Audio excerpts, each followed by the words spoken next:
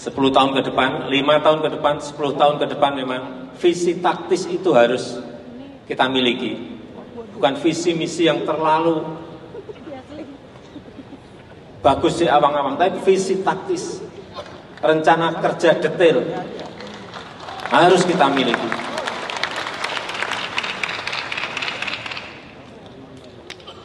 Dan saya yakin Pak Ganjar mampu menyelesaikan ini.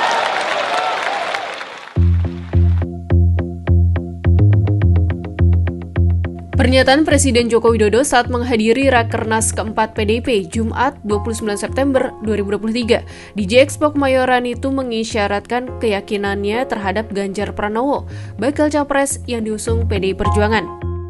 Rakernas yang berlangsung hingga 1 Oktober 2023 ini antara lain dihadiri Ketua Umum PDIP Megawati Soekarno Putri, Wakil Presiden Maruf Amin, Bakal Capres Ganjar Pranowo, Ketua Umum Parpol Koalisi yaitu Ketua Umum Partai Hanura, Osman Sabta Odang, PLT Ketua Umum P3 Muhammad Mardiono, dan Ketua Umum Partai Perindo, Hari Tanusudibyo. Yang menarik beberapa tokoh yang santer digadang-gadang menjadi bakal cawapres Ganjar turut hadir, yaitu kader P3 Sandiaga Uno dan Menko Polhukam Mahfud MD.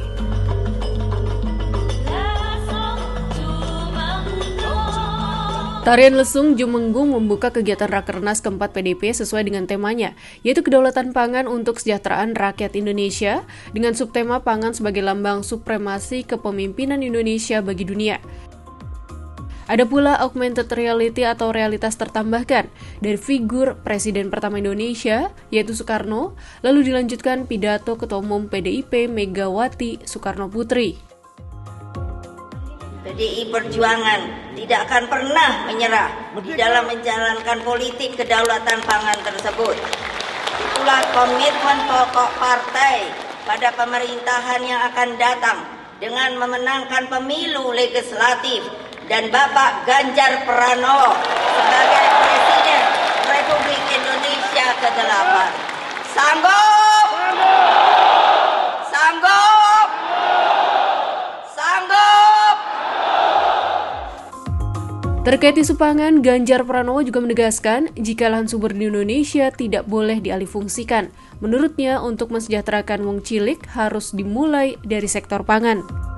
Dan tentu saja Hal yang penting dan dasar untuk menyejahterakan wong cilik adalah melalui pangan dan melalui makanan, tidak ada yang lain.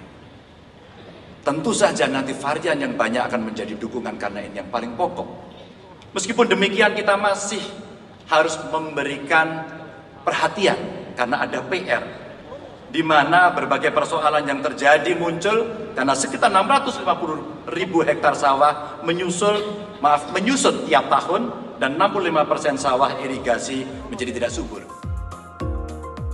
Rekernas keempat PDIP masih berlangsung dua hari lagi. Kita tunggu apakah ada kejutan politik yang diumumkan terkait bakal cawapres Ganjar, mengingat makin dekatnya tenggat pendaftaran capres-cawapres ke KPU, yaitu 19 hingga 25 Oktober 2023.